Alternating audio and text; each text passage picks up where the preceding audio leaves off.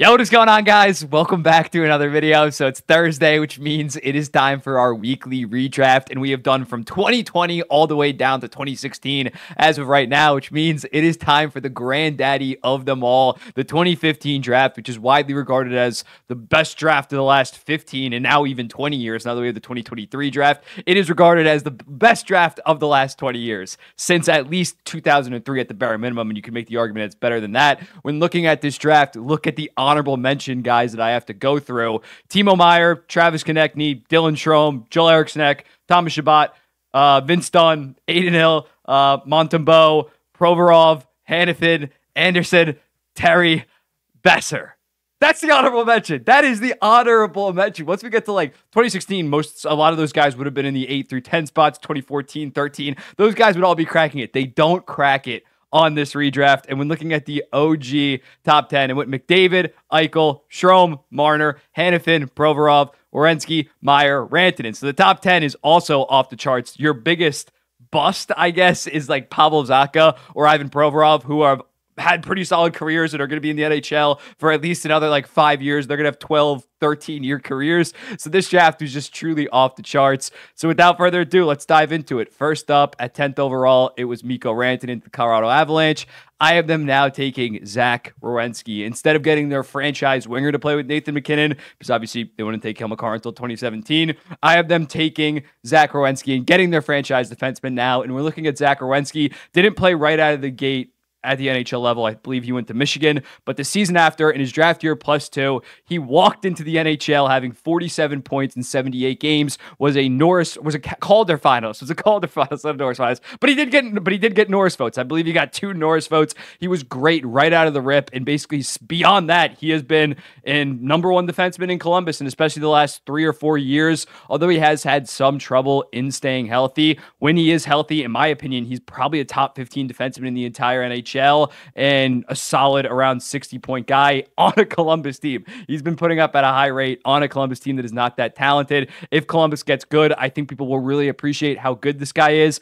I can see you making the argument for another guy here just because he has been injured a decent amount, but the fact he was a high impact 47 point guy at 19 years old, I think that does help. And he has been relatively healthy this year. He's missed only 10 games. That hopefully plays 70, 72 games this year. I think he is the pick at number 10 when looking at the Colorado Avalanche. Werenski, Landeskog, and MacKinnon rest of the way. At number nine, number nine, the Sharks initially took Timo Meier. Obviously, after such a down year this year, I couldn't really put Timo Meier, but I have them taking Roope Hintz. They get another forward here. And Roope Hintz did take a while to develop. Even at 23 years old, he was still having 33 points in 61 games. But the next season, he was point per game. And basically, since then, he has been a around 40 and 40 pace guy, one of the best centers in the entire league. not one of the best, but like he's been a top 15 center for the most part for the last three or four seasons on one of the best lines in hockey. So although it did take a little bit longer to develop, I think at this point he's a top 35, top 30 player in the entire NHL, and he's still only what 26 years old,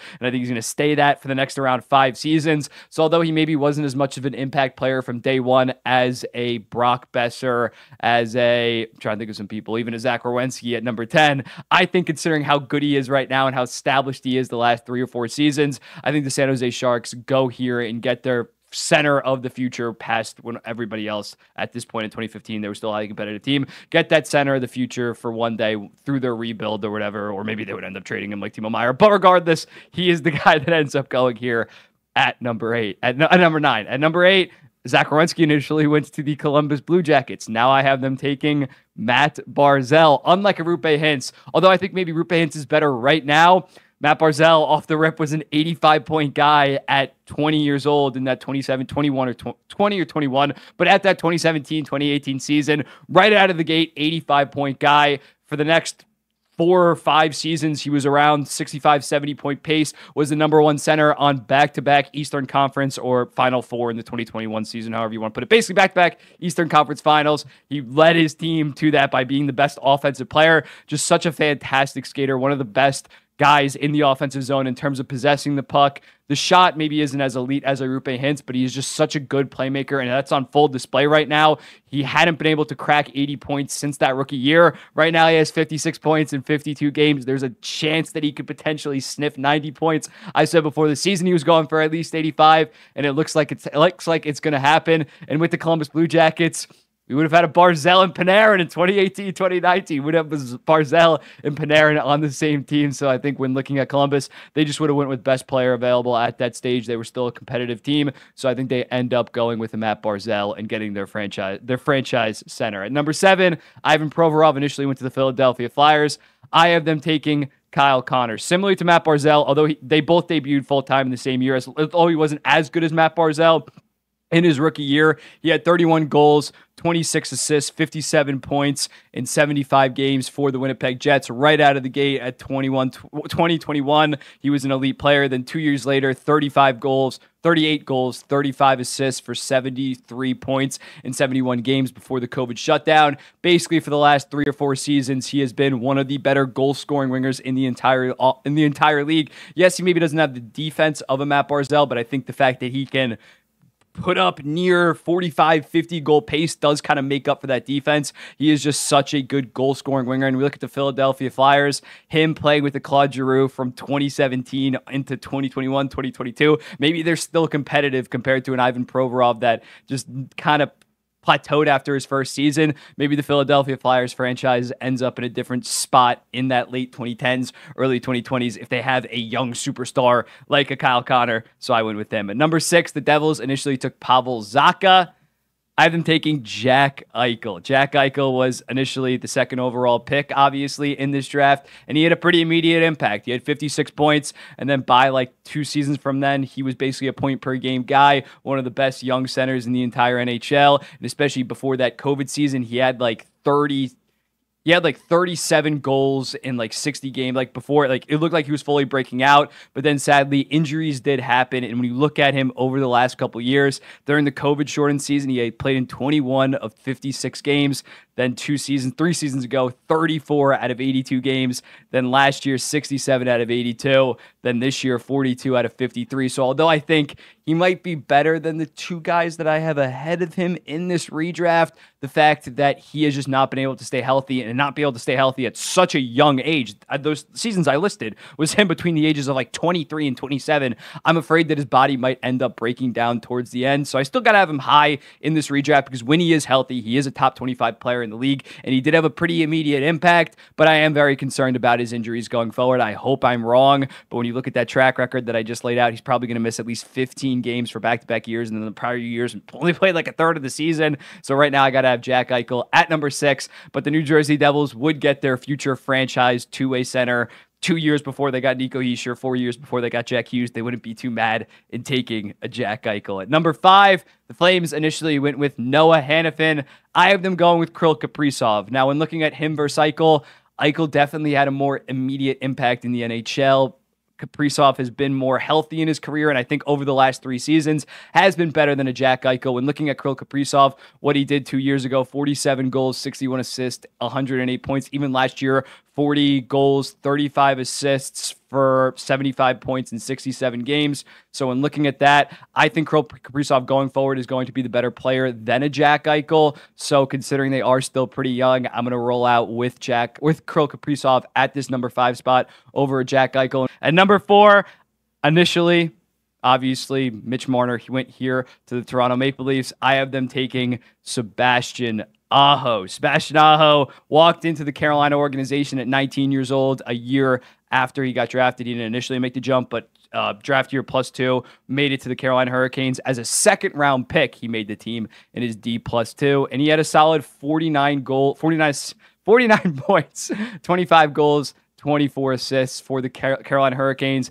And then basically two years later, he was around 35 ish goals, 45 ish assists, point per game. Great two way player. And that is basically what he's been the past couple years leading up to this year where he's playing even better, especially offensively 57 points in 49 games, leading Carolina safely to a playoff spot yet again. And with the Toronto Maple Leafs, although they eventually would get Auston Matthews, you could play two center deep. Obviously, we've seen that strategy work a shit ton in the NHL. And them taking Sebastian Aho probably leads to them not paying John Tavares a seven year, $11 million contract. So I go Sebastian Aho here over Kaprizov. Although I think Kaprizov has more offensive potential. Obviously, the track record is better for Aho. And like a Jack Eichel, they have the track record, but Aho doesn't have the injury concerns. So that's kind of how I ended up with Sebastian Aho at number four. At number three, initially, Dylan Strome went to the Arizona Coyotes.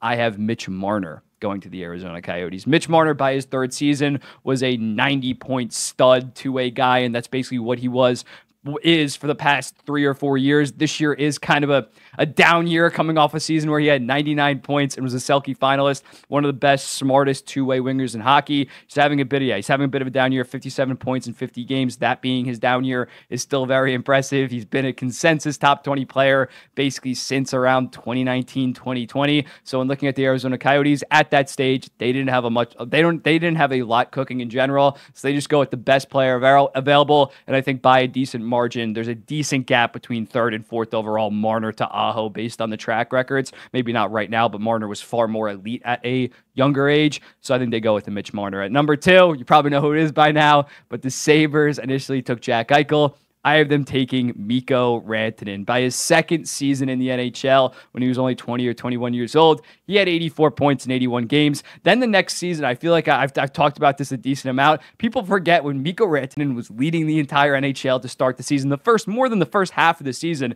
he had 73 points in 48 games. People were like, this dude might be better than Nathan MacKinnon at this point. Obviously, he slowed down that season, finished with 87 points in 74 games. But last year, eh, basically since then, he's been an elite top 20 player. Last year, best goal scoring year 55 goals, 50 assists, 105 points. This year, 29 goals, 40 assists for 69 points in 54 games, which is on pace for 44 goals, 61 assists, and 105 points, which would match his point total last year, but just a little bit goal, a little bit less in terms of goal production. So I just think he's such a fantastic power forward. It's not just him benefiting off Nathan MacKinnon. You look at him last year when Nathan MacKinnon missed, I think, 11 games. He scored nine goals in those 11 games. He can carry a team on his own. So, although he definitely benefits from playing with Nathan MacKinnon, I think he could be a franchise player on a Buffalo Sabres. Him and Sam Reinhart. Sam Reinhart would probably actually be a solid, develop more so into a center than the winger that he ended up developing into. So, in looking at that, I think Buffalo takes Nathan McK- takes Mikko Rantanen over a Mitch Marner in this redraft, considering